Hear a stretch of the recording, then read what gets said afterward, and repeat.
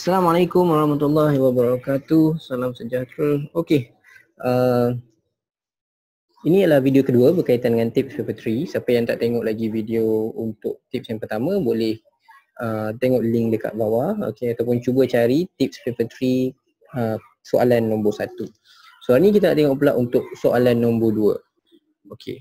So macam dibincangkan yang sebelum sebelum ni, soalan nombor 1 dia akan memberi gambar raja lengkapkan gambar raja okey. Uh, buat table dan lukiskan graf. Kalau soalan nombor dua pula adalah okey dia dah memang bagi graf. Maknanya dia dah bagi dah result untuk satu eksperimen. Korang dah ada result dia. Dia bagi graf. Daripada graf tersebut korang kena bagi tahu apakah hubungan antara RV dan MV nya. And apakah gradient bagi graf tu kena cari. And cari value uh, dan juga mencari value based on the formula given which related to the graph. Okay, so markah dia ada 12. Kita lihat contoh soalan. Okay, contoh untuk nombor 2. Soalan nombor 2. Ini contohnya. Okay, the first ayat dekat sini adalah aim of experiment. Okay, student carry out experiment to investigate. Ni ayat aim. Ni ayat tujuan. Okay, apa tujuan dia? Hubungan antara daya dan pemanjangan spring. Okay, daya, force and extension of spring.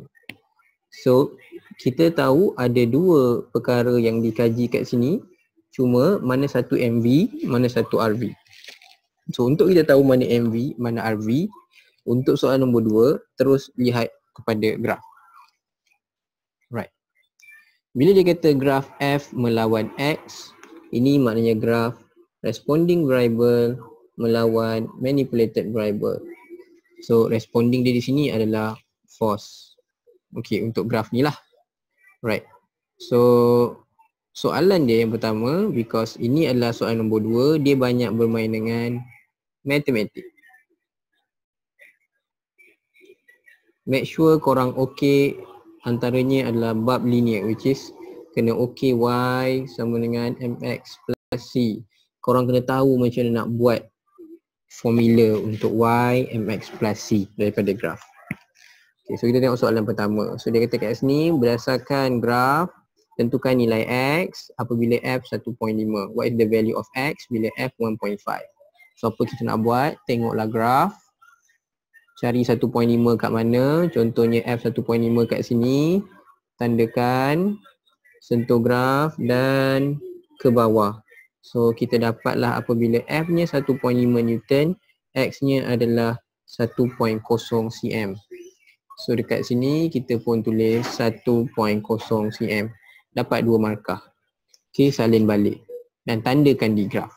Tunjukkan pada graf. Determine, show on the graph. Tunjuk kat graf. So kena buat garis yang cikgu tandakan tadi ni. Untuk tunjukkan berapa nilai X bila F dia 1.5. Okey.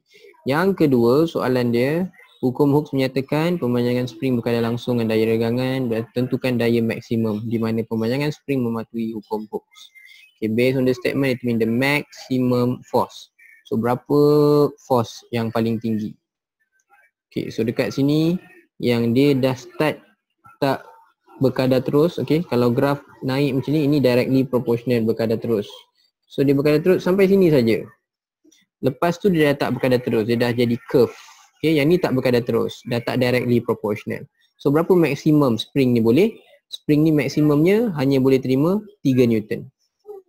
Okay, itu dia punya elastic limit, had kenyal dia. Dia hanya boleh terima 3 Newton. Lebih daripada 3 Newton, spring tu takkan kembali kepada bentuk asal. So spring jadi rosak lah.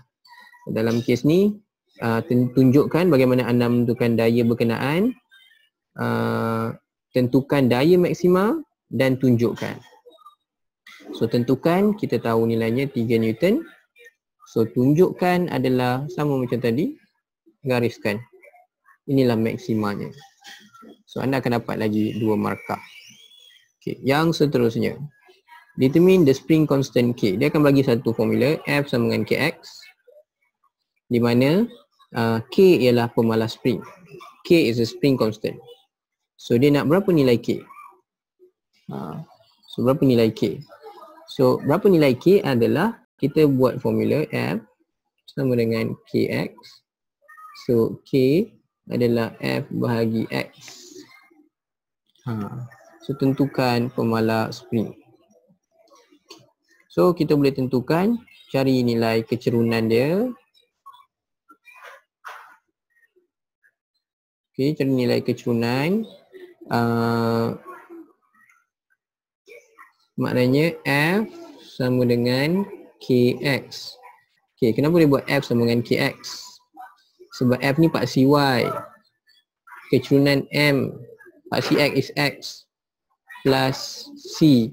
Tapi dia tak ada Y intercept, dia start dekat kosong. So that's why C ni kosong, C sama dengan kosong, Y sama dengan MX, F sama dengan KX. So kita nak cari kecerunan, maknanya K tu kena cari kecerunan cari kecerunan. Okay, gradient. Find the gradient. How to find the gradient? Okay, contoh cikgu ambil sini. Ha, so kita buat titik ni adalah 2.0 dan 3 dan ambil titik hujung ni 0, 0.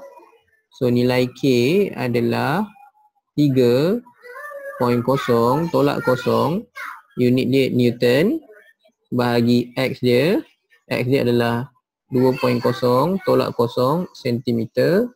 So kita dapat nilai kecerunan dia 3 bahagi 2 1.5 Newton 1 cm. So bagi je 1.5 Newton dia akan panjang 1 cm. Itulah maksud nilai K. So kita dah dapat ni, dapatlah nilai dekat sini K dia adalah 1.5 Newton setiap centimeter. So ni matematik. Make sure korang okay bab linear.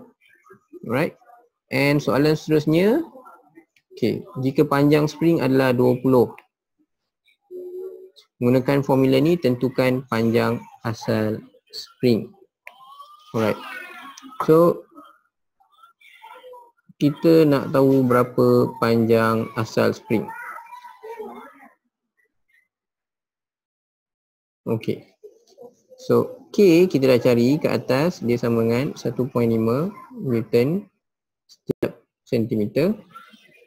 Okay, so kata jika panjang spring adalah 20 cm semasa daya regangan bertindak ke atas nya adalah 2.25. So 2.25 Newton masukkan dalam formula F sama dengan KX.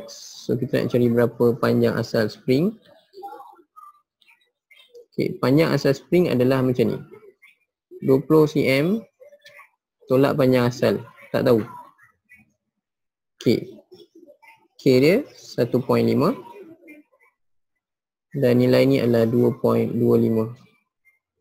So kita darab dan selesaikan untuk nilai X. Okay, so ni matematik. Just masukkan nilai berdasarkan maklumat yang dah ada. So gunakan all the information given to you yang ada dekat atas tadi. All the information yang korang ada. Okay. So, itu untuk tips soalan nombor 2. Okay. So, kita nak tengok tips untuk soalan nombor 3 selepas ni. Okay. So, nanti cikgu akan post lagi. Alright. Bye-bye.